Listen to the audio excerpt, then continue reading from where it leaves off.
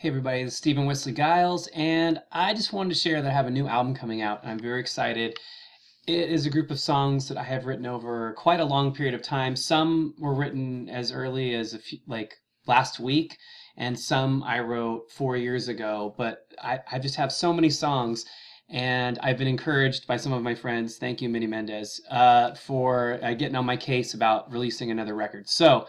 I have put together um, nine songs, um, and the album is going to be called Heartbreak Hallelujah, and it is going to be out by the end of September. And I will be uh, giving some information about that as we draw near. What I would like to ask you to do is if you're not already a fan of my Facebook uh, music page, um, all you need to do is type in Steven Wesley Guiles, and you should see one of the options should say musician. Click on the like button and then also if the follow button isn't there and you could just set it to default or hey, if you want to know everything I'm doing exactly when it happens, you can click on see first. And if you feel like it gets too much, you can just click unfollow. You can still like my page, but not get information. I promise I won't uh, over post. Um, but I did want to share this because it's something I haven't done in a long time. I have two other solo records. Both of them are on Spotify.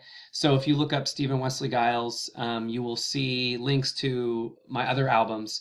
And this is a continuation of uh, those solo records. So uh, I can't wait for you to hear it. And I can't wait for you to see the artwork uh, by Daniel Scott.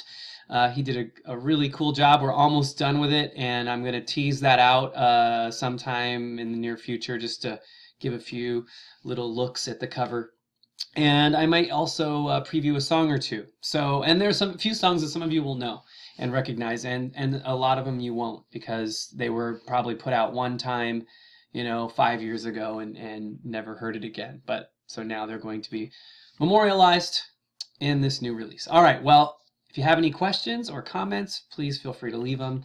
And thanks a lot.